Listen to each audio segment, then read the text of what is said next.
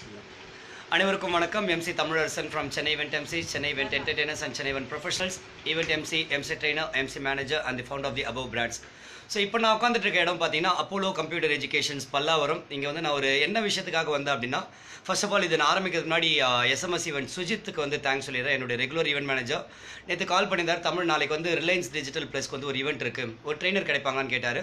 என்ன விஷயம் பண்ணணும் ஜி அப்படின்னு கேட்டால் இல்லை பசங்களுக்கு வந்து ஒரு லேப்டாப் பற்றி ஒரு அவேர்னஸ் கிரியேட் பண்ணணும் நம்ம லேப்டாப் டிஸ்பிளே வைக்க போகிறோம் அட் த சேம் டைம் அவங்களுக்கு ஏதாவது நம்ம ஒரு அவேர்னஸ் கொடுத்தா நல்லா இருக்கும். லேப்டாப்லாம் எப்படி வாங்கணும் என்னென்ன விஷயங்கள் பார்க்கணும் அதோட ஃபீச்சர்ஸ் எக்ஸ்பிளைன் பண்ணலான்னு சொன்னார்.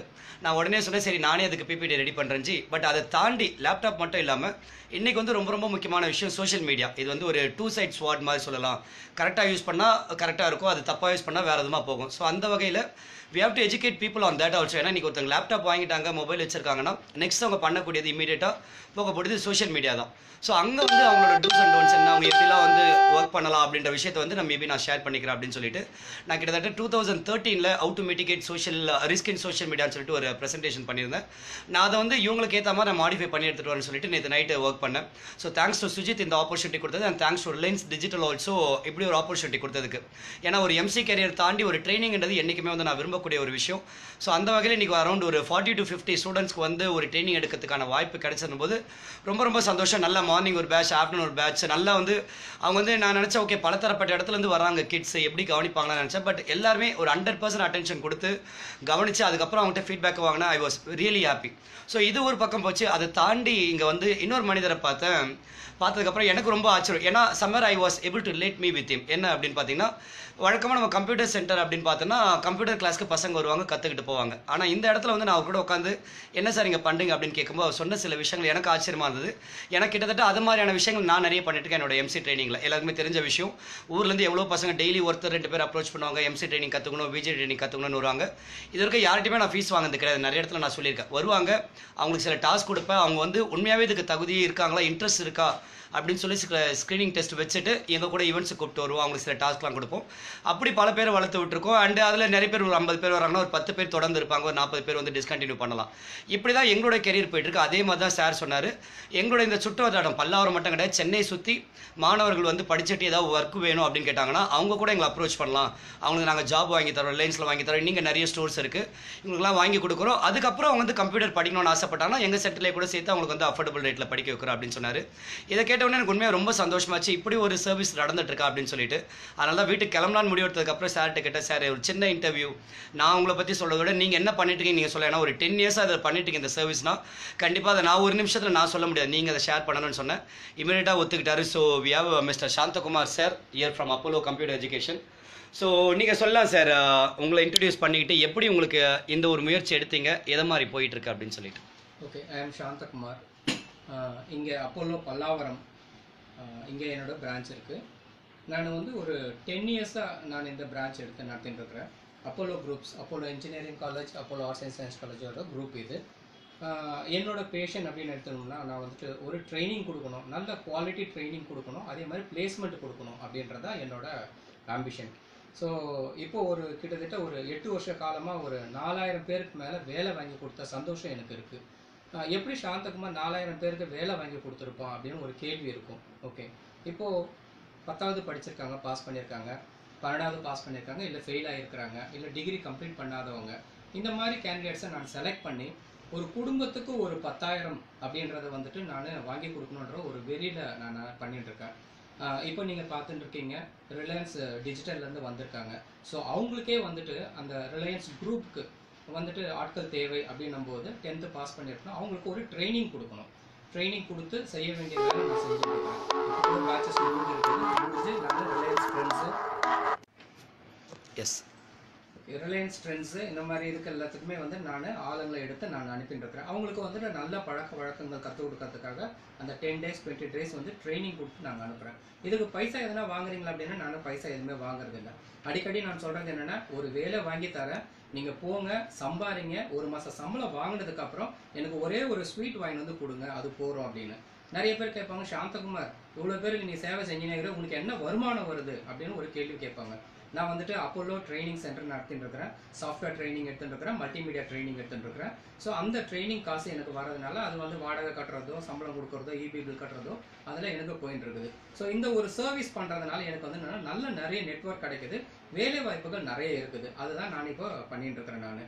இப்போ பசங்க வராங்க. நான் டேரெக்டாக கம்ப்யூட்டர் படிக்க வாங்க அப்படின்னம்னா இல்லை சார் பணம் இல்லைன்னு சொல்கிறாங்க ஸோ அவங்கள வந்துட்டு நம்ம அடிக்கடி சொல்லினே இருப்போம். அரசு சொல்லுது கவர்மெண்ட்டை சொல்லுது என்னன்னா வந்துட்டு அனைவருக்கும் கல்வி அப்படின்ட்டு அரசு சொல்லுது. ஆனால் நான் சொல்லுவேன் அப்போலோக்கு வாங்க இந்த மாதிரி கம்ப்யூட்டர் கல்வியை படிங்க அப்படின்னு சொல்லுவேன். அரசின் ஆணை அனைவருக்கும் கல்வி. அப்போலோவின் ஆசை அனைவருக்கும் கம்ப்யூட்டர் கல்வி அப்படின்றதான் என்னோட ஆசை. ஸோ அதை தான் நான் இப்போ பண்ணிட்டு இருக்கேன். ஒருத்தருக்கு கம்ப்யூட்டர் வாங்க முடியாது. அது வாங்குறதுக்கு நான் வழியை காமிக்கிறேன். ஒரு பத்தாயிரம் ரூபாய் சம்பளத்தில் நான் கொடுத்துட்டேன் அப்படின்னா டிஜிட்டல் டிஜிட்டல் நம்ம சொல்கிறோம் டிஜிட்டல் இந்தியன் சொல்கிறோம் அதே மாதிரி டிஜிட்டல் மார்க்கெட்டிங் சொல்கிறோம் அதே விஷயத்த டிஜிட்டல் அவங்க வரணும் அப்படின்னா இப்போ டேக் டைம் ஸோ அதனால தான் அவங்களுக்கு ஒரு வேலைன்னு வாங்கி கொடுத்துட்டோன்னா சம்பாதிப்பாங்க. சம்பாதிச்சதுக்கப்புறம் அவங்க வாங்க ஆரம்பிச்சிருவாங்க. சரி ஒருத்தர் வந்து மல்டிமீடியா படிக்க வராங்க அப்படின்னும் போது நானே அவங்களுக்கு சொல்லுவேன் இலவசமாக நான் வந்து ஃப்ரீ லேப்டாப் நான் தரேன் அப்படின்னு சொல்லுவேன் நான். ஸோ எப்படி தருவேன் அப்படின்னம்னா வந்துட்டு அவங்களோட ஃபீஸ்லேருந்து அவங்களே நான் ஷார்ட் பண்ணி அதை வந்து ஒரு லேப்டாப்பை நான் வாங்கி தருவேன் நான். ஸோ இந்த மாதிரி நான் வந்துட்டு அவங்களுக்கு ஒரு வேலை வாய்ப்பு பயிற்சி நான் கொடுத்துட்டுருக்கேன். So for the past ten years this is what I am doing thank you ரொம்ப ரொம்ப அருமையான சர்வீஸ் சார் இது கண்டிப்பாக மேலும் மேலும் இன்னும் நிறைய பேர் ரீச் ஆகிறதுக்கு என்னுடைய வாழ்த்துக்கள். ஸோ சார் வந்து நீங்கள் காண்டாக்ட் பண்ணது அப்போலோ கம்ப்யூட்டர் எஜுகேஷன் பண்ணலாம்னா நான் கூகுளில் போய் நீங்கள் சர்ச் பண்ணலாம். இல்லை யூ கேன் காண்டாக்ட் மீ நான் சாரோட நம்பர் தரேன். என்னுடைய number nine double zero three zero eight seven one nine eight so இப்படிப்பட்ட ஒரு இடத்துல வந்து சார் கூட உட்காந்து அவர் இன்டர்வியூ பண்ணுறேன் அப்படின்னு எனக்கு ரொம்ப சந்தோஷம். பட் இதோட இது முடியல. இங்கே இன்னொரு மனிதரை சந்திச்ச ரிலையன்ஸ் ஃபவுண்டேஷன் வந்து சதீஷ் அப்படின்னு சொல்லிட்டு ட்ரெயினர் நான் கிளாஸ் எடுக்கும்போது கூட காலையில் வந்தார். வந்துட்டு அவர் சார் நடு நடுவில் உள்ளே வந்துட்டு போனார். அப்புறமா நான் மத்தியானம் இன்டர்வியூ பண்ணும்போது நான் என்னலாம் சொன்னேன்னா அது எல்லா விஷயமே திரும்ப சொன்னார். நான் அதான் சொன்னேன் என்ன சார் நீங்கள் கவனிக்கவே இல்லைன்னு சொல்லி இவ்வளோ விஷயம் பேசுறீங்கன்னா அந்த அளவுக்கு ஷார்ப்பான மனிதர். அண்ட் அவரோட லைஃப் ஹிஸ்டரி ஷேர் பண்ணிட்டார். ரொம்ப ரொம்ப இன்ஸ்பைரிங் இருந்தது. நான் பேசுனதுக்கப்புறம் அதை சம்மப் பண்ணிட்டு ஸ்டூடெண்ட்ஸ்க்கு இன்னும் கொஞ்சம் அதை பேஸ் பண்ணி நிறைய விஷயங்கள் ஷேர் பண்ணார். ஸோ அவரும் அவருடைய எக்ஸ்பீரியன்ஸை ஷேர் பண்ணணும்னு ஆசைப்பட்றோம். வெல்கம் சதீஷ் சார் நீங்கள் ஷேர் பண்ணிக்கலாம் உங்களுடைய.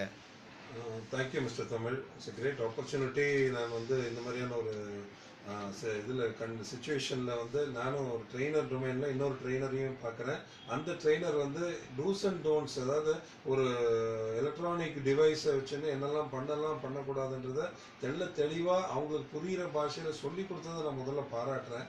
அது நார்மலாக எனக்கு நான் கற்றுக்கிற காலத்தில் வந்து என்னுடைய குருக்கள் சொல்லி கொடுத்தது keep your eyes and ears always open உன் காதுகளையும் கண்களையும் எப்பொழுதும் திறந்து வைத்துக் கொள்ளுங்கள். அப்போ தான் உனக்கு அக்கம் பக்கம் நடப்பதும் தெரியும். நல்ல விஷயங்களும் நீ கற்றுக்கொள்ளலாம். தேவையற்றதை நீ தெரியாமல் விட்டுவிடலாம் என்பதை கற்றுக் கொடுத்துகிறார்கள் அதே தான் என்னுடைய ட்ரைனிங் சென்டர்லேயே என்னுடைய ட்ரைனிங் செஷனையும் நான் என்னுடைய பிள்ளைகளுக்கு என்னுடைய ட்ரைனிங்ஸுக்கு நான் சொல்லிக் கொடுக்குறேன். இந்த மாதிரி ஒரு சம சமயத்தில் இப்படி ஒரு விஷயத்தையும் சொல்லிக் கொடுக்கும் ஒரு காரணம் உள்ள ஒரு மனிதனை சந்தித்த போது எனக்கும் மிகவும் பெருமையாகவும் இருந்தது. அது மட்டும் அல்லாமல் வேலை இப்போ மிஸ்டர் சாந்தகுமார் உங்களிடம் கூறினார் வேலை கவர்மெண்ட் வந்து எல்லாருக்கும் வேலை எல்லோருக்கும் வேலை என்று கூறுகிறார்கள் எல்லோருக்கும் அரசாங்க உத்தியோகம் கிடைக்கவே கிடைக்காது. பத்து படித்திருந்தாலும் பன்னெண்டு படித்திருந்தாலும் பிடெக் எம்பிஏ படித்திருந்தாலும் அவர்களுக்குன்னு ஒரு மனதில் ஒரு ஆட்டிடியூட் இருக்க வேண்டும். அதாவது நமக்கு இதுதான். நமக்கு இது தேவை அப்படின்னு ஒரு ஆட்டிடியூட் இருக்கணும். அந்த ஆட்டிடியூட் அப்படின்ற ஒரு வார்த்தையை நீங்கள் ஆங்கிலத்தில் நமக்கு தாய்மொழி ஆங்கிலம் இல்லை. ஆனாலும் ஆட்டிடியூட் என்ற வார்த்தைகளை மொத்தமாக நீங்கள் கூட்டி பார்த்து பார்க்கிறால் இருபத்தி ஆறு எழுத்துக்களில் அந்த நம் எண்களை கூட்டி பார்த்தால் நூறு என்று வரும். ஸோ நூறு சதவீதம் நமது எண்ணங்கள் பாசிட்டிவ் வைப்ரேஷன் அதாவது நமக்கு முடியும் என்ற எண்ணம் இருந்தால்தான் நம்மளால் செய்ய முடியும். அது மட்டும் இல்லாமல் அவர் கூறினார் ஒரு வித்தியாசமான ஒரு அனுபவத்தை கொண்ட ஒரு மனிதர் என்றால் ஒன்றுமில்லை. ஒரு பன்னெண்டு வருடத்துக்கு முன்னால் நான் சென்று கொண்டிருந்த எனது காரின் மேல் ஒரு லாரி ஏறி எனது ம- மனிதனின் உடம்பில் உடைய உடையவே உடையாத ஒரு எலும்பு எதுவென்றால் மண்டை ஓடு என்று கூறுவார்கள் நான் படித்த அறிவியலில். அந்த மண்டை ஓடை இரண்டாக உடைந்து ஒரு பாதி மண்டையை வந்து வெறும் போன் சிமெண்டால் பதிய வைத்து அப்போலோ ஹாஸ்பிட்டல் எனக்கு அப்படி ஒரு நிலவரத்திலும் நான் கோமா ஸ்டேஜிலிருந்து பதினோரு ஆப்ரேஷனும் எனக்கு செய்து வலது கால் முழுவதும் ஸ்டெயின்லெஸ் ஸ்டீல் இருந்தும் என்னால் இன்று நடக்க முடிகிறது என்னால் எட்டு மணி நேரம் நின்று ஒரு ட்ரைனிங் ப்ரோக்ராம் கூட செய்ய முடியும் என்றால் அதற்கெல்லாம் இன்றைய பிள்ளைகளுக்கு தேவையே தன்னம்பிக்கை என்ற ஒரே ஒரு எண்ணம் மட்டும்தான். பணம் காசு எப்பொழுது வேண்டாலும் கிடைக்கும் எப்படி வேண்டுமானாலும் கிடைக்கும். பொய் சூதுவாது இல்லாமல் உழைப்பை மட்டும் நம்பினால் கண்டிப்பாக கிடைக்கும். அந்த உழைப்பை செய்ய வேண்டும் என்றால் அதற்குண்டான தகுதிகளை நாம் அதை ஜாஸ்தியாக்கி கொள்ள வேண்டும். அதற்கு இப்படிப்பட்ட ஒரு பயிற்சி மையத்தில் பயிற்சி எடுத்துக்கொண்டால் அதுவும் பணம் கட்டாமல் பயிற்சி எடுத்துக்கொண்டால் அதன் மூலம் வேலையும் கிடைக்கிறது என்பது எனது நண்பர் சாந்தகுமாருக்கும் நான் மிக்க நன்றியை தெரிவித்துக் கொள்கிறேன். இதை எல்லோருக்கும் பரவ செய்ய வேண்டும் என்ற ஒரு பரந்த மனமுள்ள திரு தமிழரசன் அவர்களுக்கும் நான் மிக மிகவும் நன்றியை தெரிவித்துக் கொள்கிறேன். இந்த ஆப்பர்ச்சுனிட்டிக்கு மிக்க மிக்க நன்றி. எனது நண்பராக இப்பொழுது எனது ஃபோன் புக்கில் மிஸ்டர் தமிழரசனும் சேர்ந்து விட்டார் நன்றி வணக்கம். நன்றி சதீஷ் சார் அண்ட் நன்றி Santhakumar sir.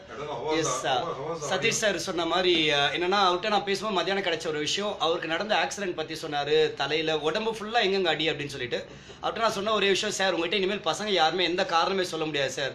இந்த காரணம் சார் வீட்டில் உடம்பு சரியில்லை கை கால் சரியில்லை அப்படின்னு சொல்ல முடியாது. ஏன்னா அது எல்லாத்தையுமே ஒரு முன்மாதிரியா நீங்க இருக்கிறீங்க. இன்ஸ்பிரேஷன் உங்க கதையை கேட்கறதுக்கு சுகமா இருக்கு. இன்னைக்கு நீங்க சந்தோஷமா இத்தனை விஷயங்கள் பண்றீங்கன்னா கண்டிப்பா இவர கிரேட் இன்ஸ்பிரேஷன் எத்தனையோ பேரோட வீடியோ நாங்க வந்து மோட்டிவேஷன் ட்ரைனிங்ல போட்டு காமிப்போம். இன்னைக்கு கண்டிப்பா நான் இவர் கூட எடுத்துகிற ஃபோட்டோ நிறைய பேர் போட்டு காமிச்சு உனக்கு லைஃப்ல மோட்டிவேட் ஆகணுமா? நீ இவருக்கு ஃபோன் பண்ணி பாருங்க தாராளமா அவரோட நம்பர் கொடுப்பேன் அந்த அளவுக்கு வந்து ஒரு இன்ஸ்பைரிங்கான பர்சன் ரொம்ப ரொம்ப நன்றி அண்ட் ரொம்ப சந்தோஷம் எனக்கு இப்படிப்பட்ட ஒரு இடத்துல வந்து உங்க எல்லாருமே சந்திச்சது sir thank you so much and இந்த வாய்ப்பை ஏற்படுத்தி கொடுத்த எஸ்எம்எஸ் ஈவெண்ட் ஈவெண்ட்ஸ் சுஜித் ப்ரோக்கும் என்னுடைய மனமார்ந்த நன்றி.